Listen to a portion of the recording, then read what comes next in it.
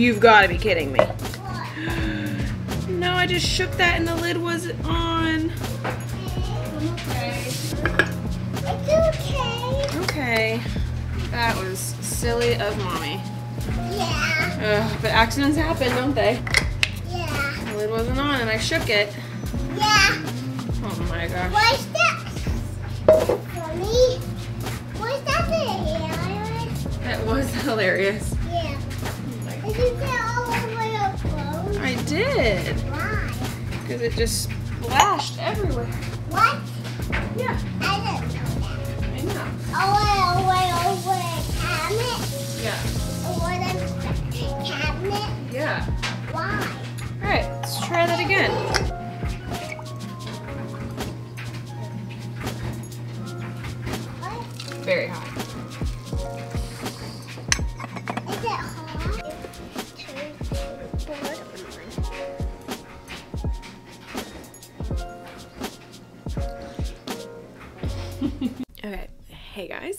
This is officially my last vlog before I'm a mommy of two.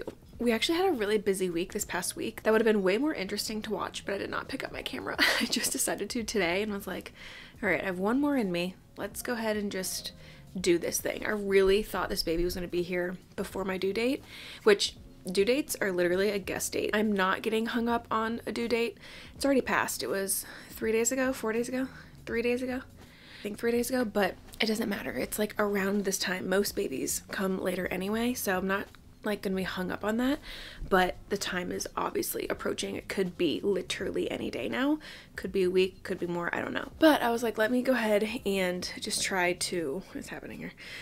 Try to just pick up the camera one more time. My arm hurts. Mm, not the cutest angle. I'm talking quiet because Sage is in the other room sleeping. I have been sleeping with her for her naps the last like week plus i've been like literally like we are snuggling in my bed every single day for nap time and it's been so fun and so cozy and i feel so guilty because she was like mommy you want me to go ahead and get the bed ready for our nap together I was like, honey, mommy has some stuff I have to do. And she was like, oh, okay. So she's in her bed. Thankfully, she does fine either way. But I have been really trying to soak up this time with her, and I literally can't talk too much about it because I will start sobbing my eyes out. I already had a night like two weeks ago when I thought I was gonna have the baby, and I laid in bed with her before she went to sleep, and I just sobbed my eyes out. So I can't really talk about it because I'm gonna cry. Now I'm feeling really guilty that I'm not sleeping with her in bed right now because what if today is the last day? I just don't know how much time I have left with her, and every single day I'm like, is today the last day? Is today the last day? It's gonna be the day where I'm just like, eh, it's not gonna be it, and then that'll be it. But anyway, I'm in bed now because I got a couple things done and now I'm exhausted. I had a plan of putting some laundry away, laundry away, can I talk? And I have not got to it because I actually just literally cannot. I have a couple more things I need to do before I'm on like my own version of maternity leave, like not doing any work stuff. But I literally cannot right now. Like I really, really cannot right now. Anyway, I need my sleep. I want to listen to the Christian hypnobirthing uh, tracks. It's oh my gosh, that app has been so helpful. It literally puts me to sleep because I sometimes struggle falling asleep, but I have not struggled lately. Like oh, I've been having insomnia and I get up at like four or five in the morning, but going to sleep, I'm pretty much like I pass out because I'm so tired. And those tracks have been so nice to listen to, so I've been doing that for naps as well. So I'm probably gonna go ahead and do that. Get my mind right for when this baby's gonna come. And we only have one more day of Clark working, and then he's off for the entire month of September. So I'm hoping the baby comes soon so that he's not off for like a week or plus whatever without the baby being here, which it'll still be really nice because we'll get time together as a family. So it'll work out the way it's gonna work out. I want his help as much as I possibly can when the baby's here because he works really long days and it's just gonna be me taking care of the babies. Oh, also, my mom, I said this in my last video, she was supposed to come over a week ago and she got sick and had to cancel her flight, which is like really unfortunate. And she was like sick, contagious. It's a whole thing. Definitely, she could have not. It wasn't just like, oh, a little cold, you'll get over in like a second. Like, she had some stuff going on. That was really unfortunate. But I have not had the baby yet, so she would have been here for over a week at this point and no baby, which would have been fine. Again, would have been fun to have her here and she would have been like so helpful and it'd been good to have that time with her. But it's kind of, I think it's gonna work out. She's coming in next Saturday and will be here just for a week. And then when Clark goes back to work, she's coming back and she'll be here for like two or three weeks and like that'll be her long stay. My in laws are in town from Mexico. They live in Mexico now and they just uh, flew in yesterday, last night. So they're in town waiting on baby too. So we're gonna have dinner with them tonight. And yeah, I don't know what the weekend's gonna hold because I don't know when I'm having a baby. So we shall see. Just eating my lentil loaf straight from the pot. That's where we're at right now.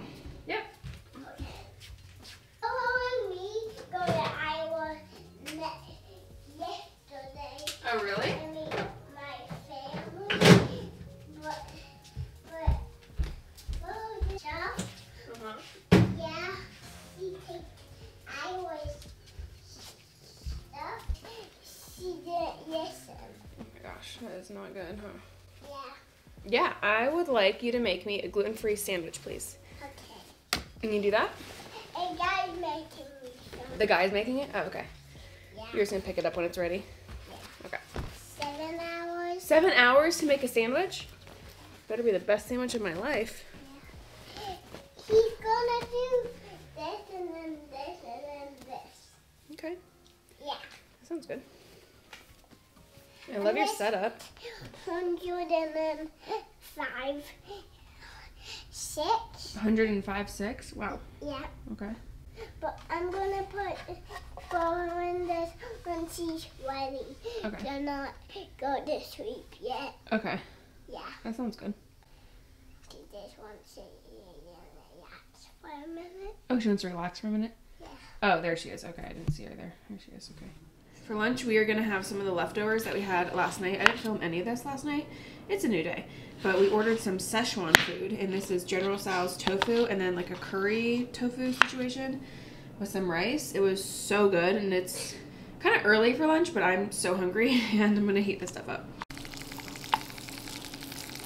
So many mussels. Yeah. Yeah. Is that the new pushing straw? Mm-hmm. What? What? Is there gonna be a baby in there? Yeah. A nice straw. That's right. It's almost eat the scissors. What? All right, we got a little cot for baby sis. Um, It's gonna go with our stroller. It's a gift from Cybex that just came in. who? Uh, it's the brand Cybex. So this goes with. So it's a double stroller. We already have the toddler seat, and then we're gonna get this.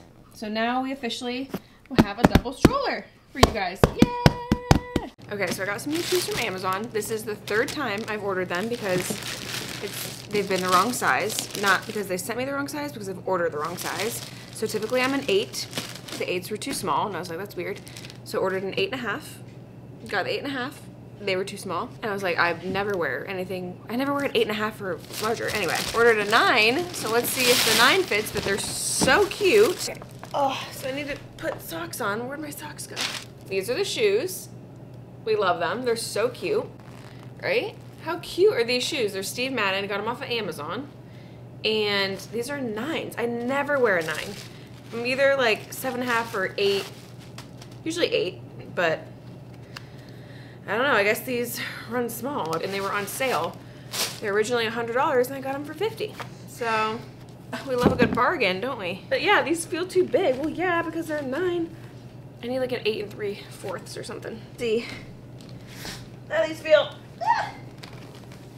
Okay.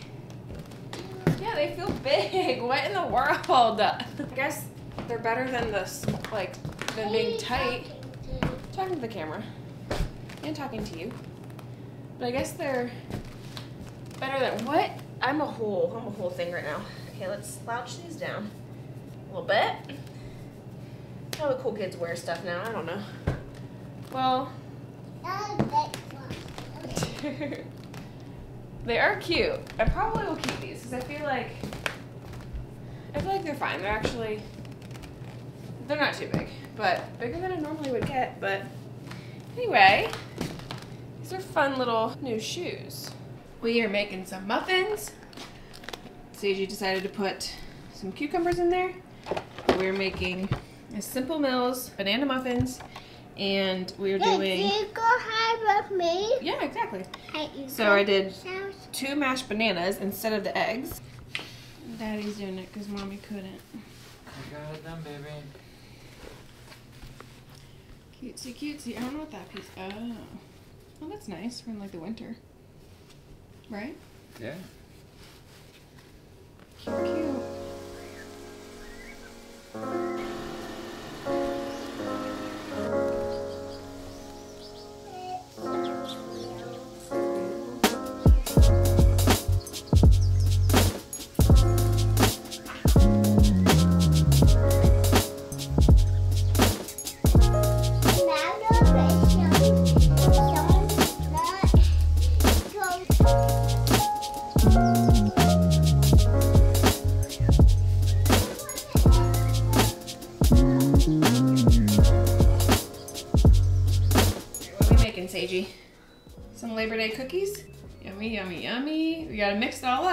Put it on the on the tray. Okay.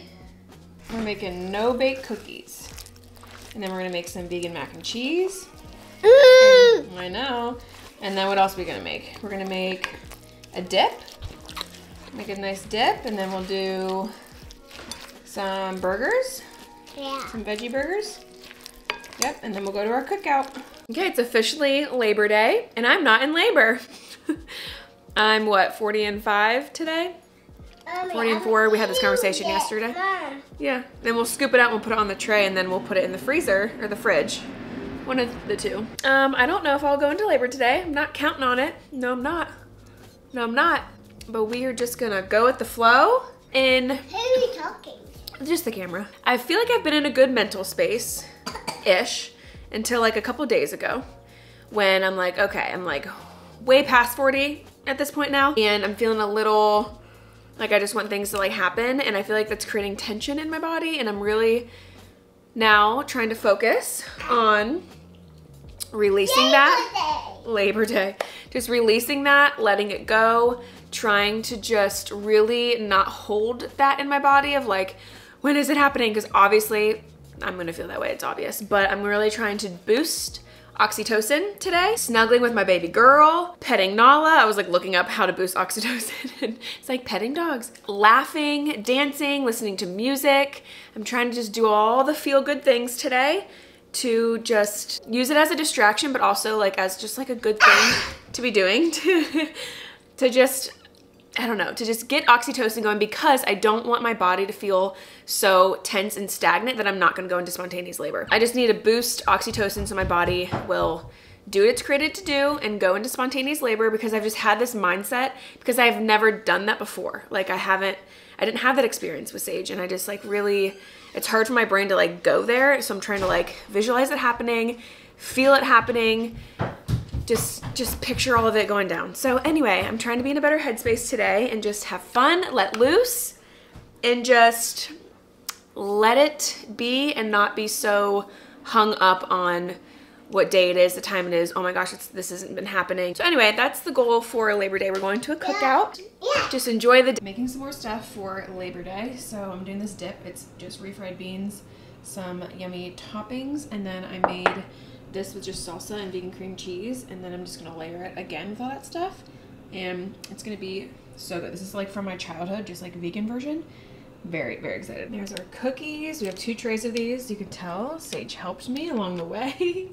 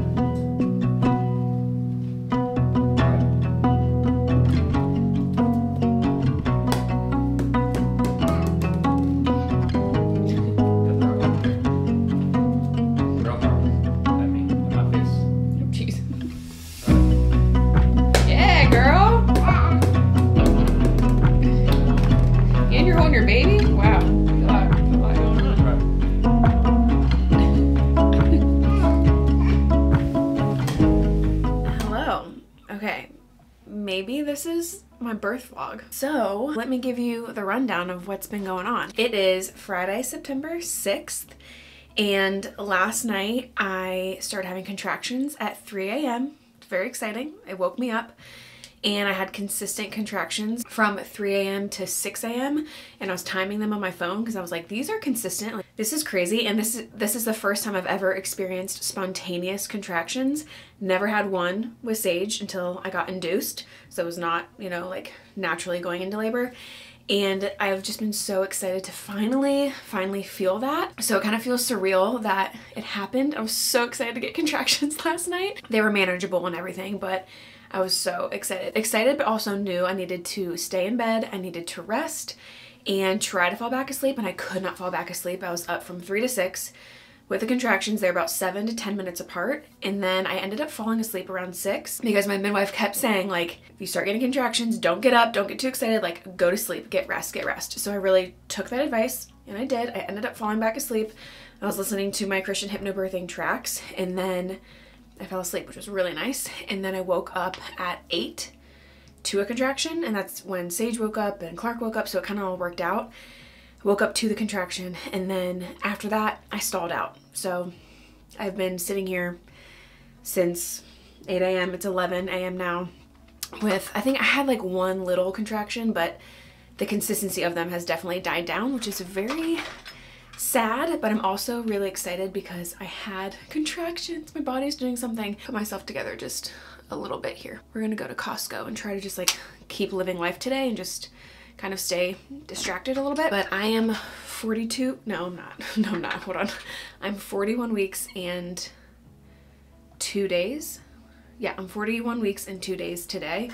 And I was like, is this happening? Like I really thought it was happening because I've not had Braxton Hicks. I've not had any, like I haven't had a contraction yet this pregnancy. Like I, since I'm, you know, past due or whatever, I'm like, when I start to feel stuff, that's probably going to be the real deal. Now I kind of just feel discouraged, but then I also feel really excited because my body's doing doing something and it hasn't done anything really yet. I mean, I've been feeling a lot over the last several weeks, but like a lot of like the lightning that's happening and I had that last night so badly, which can mean the baby's just like pressing on your pelvis and like engaging, pushing down on your uterus and it's just hitting nerves on your uterus, but that can mean effacement and dilation. So I have to be dilated at this at this point, but um anyway, that's where we're at. I don't know if this is the start of the actual birth vlog or not, but we're gonna see. We're gonna just try to continue to live life today and just stay distracted, but hopefully things gear up. My mom flies in tomorrow at like three o'clock, I think, and then we'll all go to my my midwife because she lives near the airport. We'll go for an appointment with her and kind of just chat about things. I was really hoping that we wouldn't get to that point and that it would just like happen today. It still might, who knows, but my back is like super, super achy which I'm like, oh, I don't want back labor. I had that with Sage and was terrible. But honestly, like I'll take anything at this point since I'm so pregnant. But I mean, I still feel like very crampy and very achy in my back and like, so that stuff's still happening, just no like actual contractions or whatever. So anyway, that's the rundown of what's going on today. I hope that this isn't like fully, fully false labor and nothing happens for days again, but Maybe that'll be the case. Maybe it'll be today. I don't know. All right, popping in for a little update. Still the same day. It's now 3 p.m. and I still have not had consistent contractions since this morning, but I'm having a lot of cramping. My back is super achy. I have lost more of my mucus plug and I'm pretty sure I had my bloody show. We went to Costco, came home, unloaded groceries. Just we're trying to just kind of like do things, you know, but I'm also like, oh, I need to rest. So I'm on my ball. You can't see it. Anyway, it doesn't matter. I'm on my ball. Well, so I've had to update my midwife and my doula is just kind of being like, I've stalled out. They suggested some uh, exercises from spinning babies and then also to like be on the ball and like be doing hip circles for like 20 minutes. So I have like four different like activities that I need to be doing. That should hopefully get things moving along and also get baby in the right position. I think she's in a good position, but just all those exercises and stuff just helped baby get down and stay engaged and everything. So yeah, I've had like a couple contractions throughout the day, but nothing that's been consistent. So anyway, I'm gonna drink my red raspberry leaf tea. I'm gonna do my exercises and then I'm going to get in bed and try to sleep for a couple hours just so I can get myself as rested as possible because I feel like things are gonna be happening pretty soon. And then I need you to help me do the inverted one. I've tried it one other time and it was not comfortable. Okay, we're looking it up to see how exactly to do this. Does it say what side to go on? I think you can do both. What does it say? Oh. The jiggle. Oh, last thing I want is to be jiggled right now. Oh. Okay. So this leg is straight, this leg is bent, right? Does feel right? I thought it was like shifting more of like my hips out. this is this so funny. jiggle, jiggle, jiggle, jiggle, jiggle. Yeah. Yeah, I tried doing it one other time and it did not feel good at all.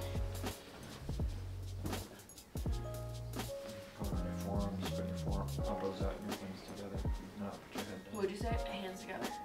Hands close together, elbows out. Yeah.